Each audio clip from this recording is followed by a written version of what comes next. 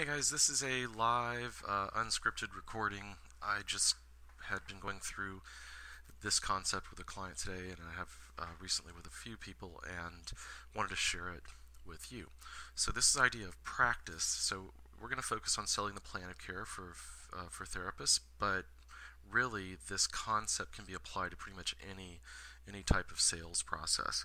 And when we talk about sales, you know, our objective here is to gain buy-in so that people will attend their visits in this in, this instance, uh, so they achieve their goals and they're happy. We're not trying to get people to do something that's not in their own self-interest. We're not trying to manipulate or trick. We're simply trying to get people to understand why this is a good choice and why they should commit to it. Eh, um, you know, in, in lieu of, of other options or nothing at all. So Step one is you have to have a process. You have to have a process in place documented.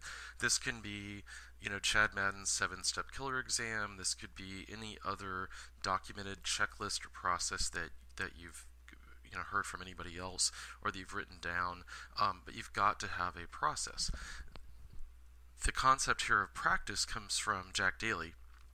Uh, Jack Daly uh, says that most sports teams are better than most businesses or run better than most businesses because of two things. The two things are they have a playbook and they practice. If you don't have a playbook, you don't have the process, you don't have it documented, then the question is what do you practice? If you're just practicing without anything written down, um, without a documented process, then you're kind of making it up as you go. That's not a good long term solution. However, it might be the start of documenting your new process and put that in your playbook. So have a process. Step two is practice the process. And step three, in this instance, is practice the, this process with over while overcoming specific objections. So we're going to talk about what practicing and selling the plan of care means, and this is taken pretty much directly from a talk with Jack Daly here of the patient, the therapist, the observer. In his talk, he talks about um, sales people, the prospect, the subject, and observer. And they, he, he's used this process with three salespeople, but here you can do it with therapists um, in, in, in this similar context. So 15 minute role play in each position. You could do 10 to 15 and then rotate. And the idea is that you're going to set the set the stage.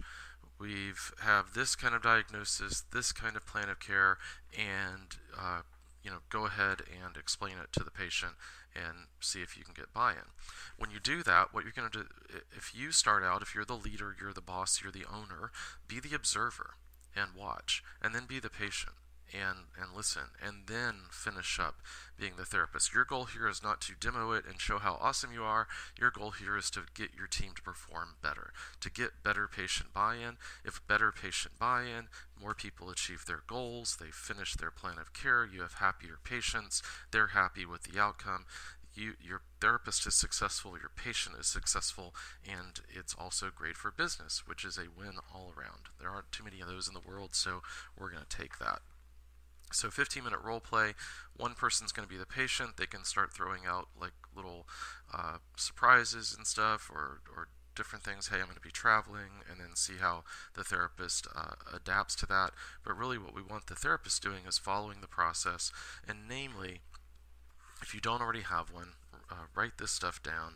You're going to want to explain the best, most efficient plan of care to get the patient to their ultimate goals tell them that it's the best, most efficient plan of care so that they can get to their goals. If there was a better alternative, then it's your obligation as a medical provider to get them to that or to explain it to them or, or refer them to the right person or what have you.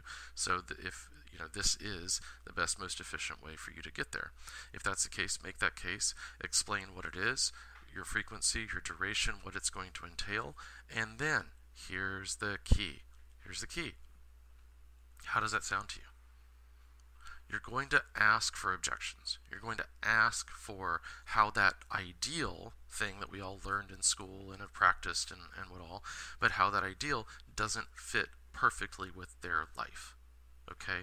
I can't afford it right now. My deductible's too high. I'm going to be traveling. I didn't think it was going to take that long. Is that really what it's going to take to do what, what I want? All those things are things that come up in our daily routine, but instead of taking time out to get better at them and understand how to address them, we practice on the go. And this usually takes us years to get good at it.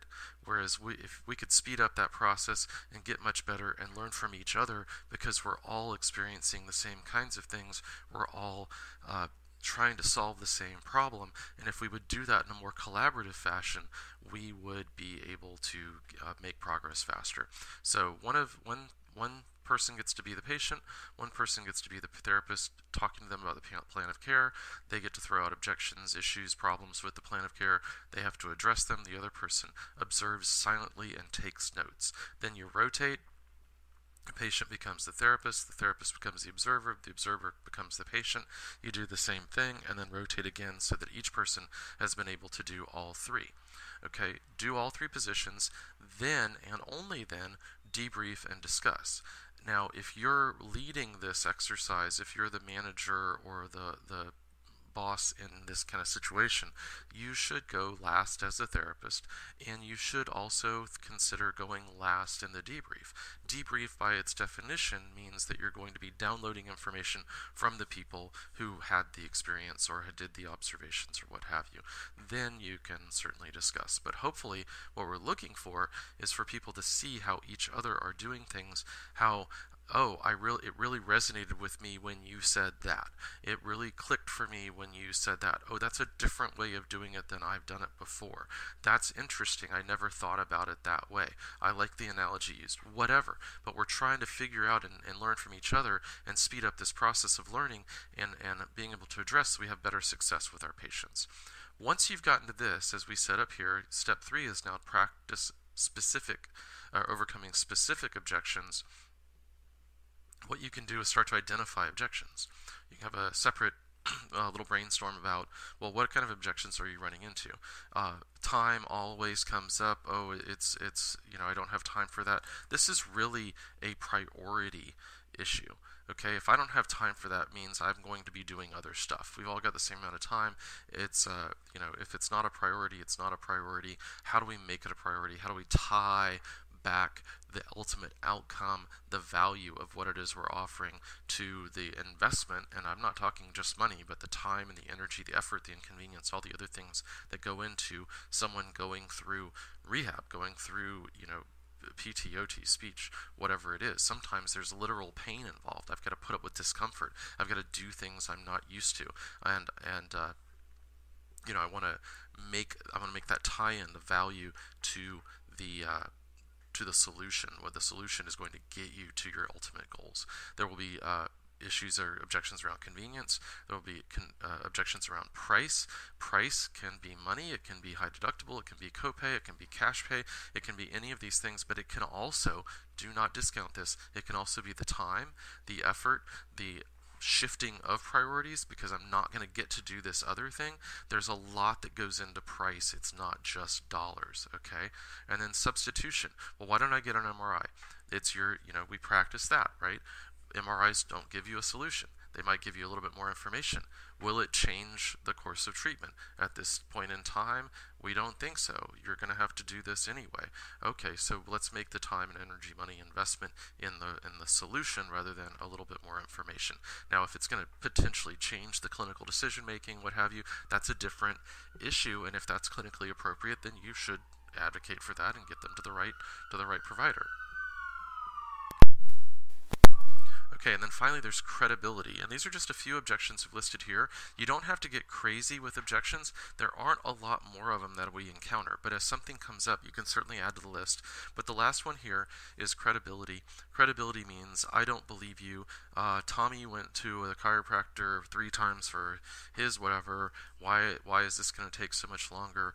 you know you have to address all those things so and credibility doesn't really come I know this is going to be hard for some of the therapists, for by with more letters after your name, credibility comes with understanding, with listening, with the empathy, with get, letting that patient know, I get it. I understand your issue. Hey, and I can fix it. Together we can we have a solution, we have a path to achieve your goals and get out of this situation. I get it, I can fix it. Here's the thing. So that's going to be where your credibility really comes in, and of course you're going to have to deliver and follow up. Repeat the process with each objection. You can go back and do this every week, every couple weeks. You can repeat it. You can do it every month. It'd be a great idea to work on it with your with your team and make sure that you can uh, address address all these and get better and better at it.